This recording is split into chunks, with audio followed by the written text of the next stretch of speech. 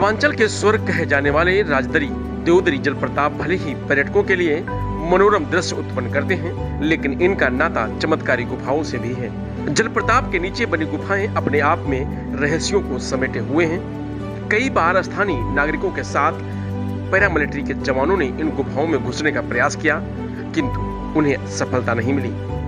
Chandraprabha sanctuary area में स्थित राजदरी व देवदरी जलप्रताप की मनोरम छटा किसी से छुपी नहीं है। इसी का परिणाम है कि यहाँ सावन व भादों के महीने में कश्मीर व पहलगाम की सुषमा समेटे वादियों को निहारने के लिए पूर्वांचल समेत नीदरलैंड, हाईलैंड, स्विट्जरलैंड, जापान सहित अन्य प्रदेशी पर्यटक खुद ब खुद खींचे चले आते हैं। इन प्रतापों के नाम से ही जग ज़ाहिर हो जाता है कि यहाँ कभी राजे रजवाड़ों के साथ देवता भी प्रकृति की आभा को देखने धरती पर उतर आया करते थे।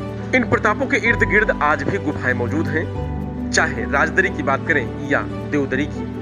प्रताप से गिरते पानी के नीचे व आसपास कई गुफाएँ अपने आप में कई रहस्यों को समेटे हुए हैं। बताया जाता है कि इन गुफाओं से होकर राजा महाराजा एक स्थान से दूसरे स्थान को जाया करते थे।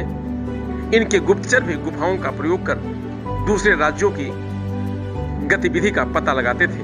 आज भी नौगढ़ विजयगढ़ के किले इन गुफाओं के गवाह हैं। कहा जाता है कि इन्हीं गुफाओं का प्रयोग कर गुप्तचर दुश्मन को ढेर कर देते थे।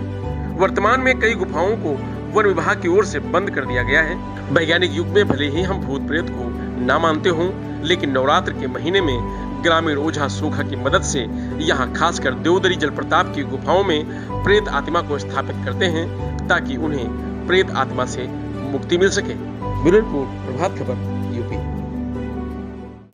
प्रभात खबर डॉट कॉम विश्वास वही रफ्तार नहीं।